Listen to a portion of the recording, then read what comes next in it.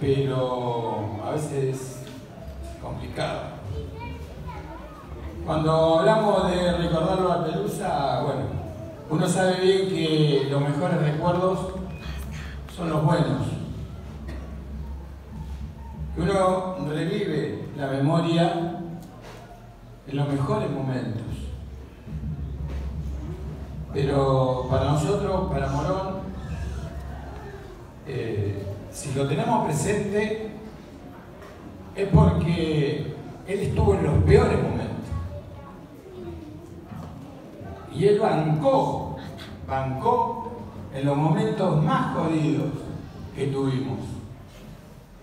Y él entendió, él entendió, y creo que fue uno de los compañeros, junto con Miguel Federico y otros compañeros, pero creo que Pelusa fue el que mostró una lealtad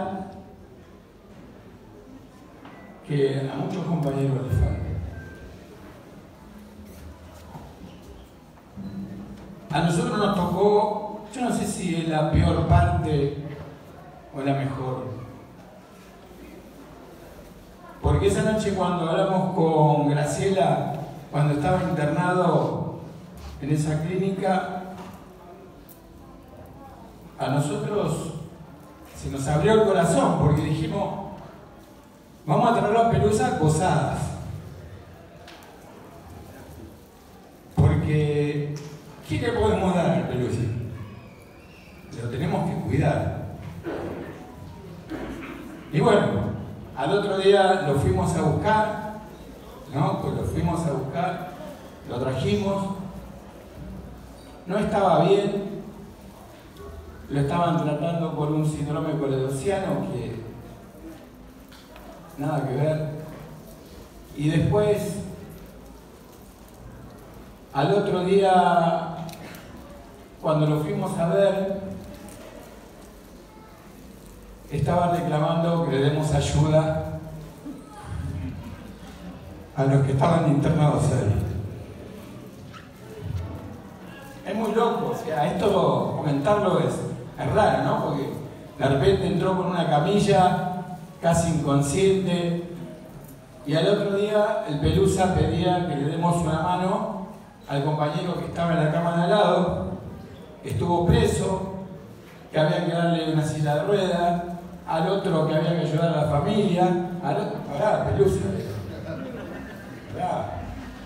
Acá estás para curar, no estás haciendo, dejate joder. Pero no, el es- era solidario. Le daba lo que él tenía al otro y no, no dudaba.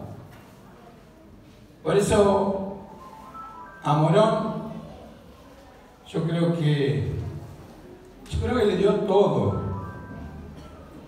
Y cuando nos enteramos de lo que tenía, fue, fue, fue terrible, porque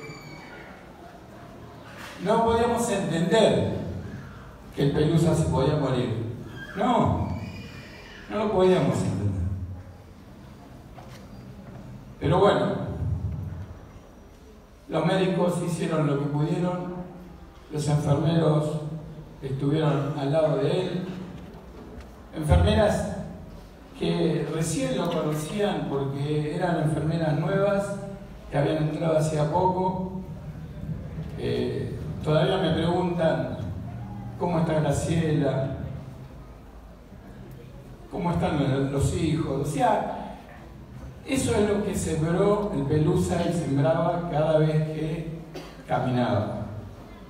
Por eso digo, al Pelusa siempre lo vamos a recordar. Lo vamos a recordar porque formó parte de nuestra vida. En los momentos que uno necesitaba un abrazo, Él estuvo. En los momentos que necesitábamos una decisión o tomar una decisión complicada, el Pelusa te decía. Para nosotros fue un hermano, un maestro, fue un compañero que no lo vamos a extrañar, ¿eh?